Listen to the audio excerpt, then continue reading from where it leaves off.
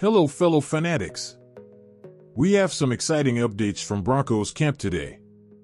In the ever evolving realm of NFL scouting, there's one team that has its eye on a future gridiron sensation, even if he slipped a bit in the draft rankings.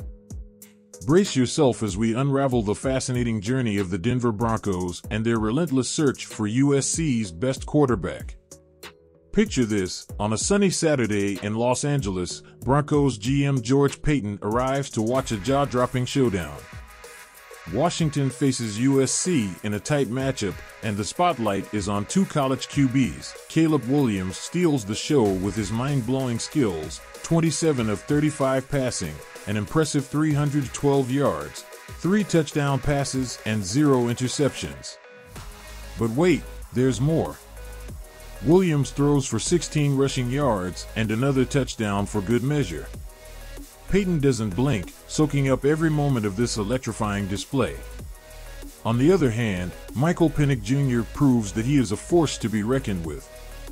Completing 22 of 30 passes for 256 yards, he threw two touchdowns and just one interception.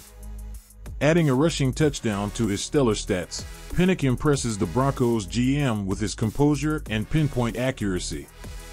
But hold on tight, George Paton's quarterback search doesn't end there.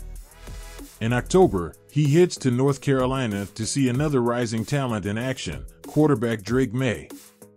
This young sharpshooter leaves an indelible mark with his skills and courage on the field.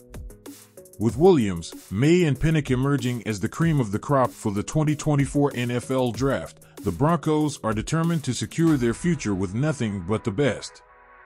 The Denver Broncos are leaving no stone unturned in their quest for excellence on the football field. Buckle up for more exciting information and leave your feedback in the comments. If these player names resonate with you, hit subscribe to receive all the latest Broncos updates. Thank you so much for tuning in.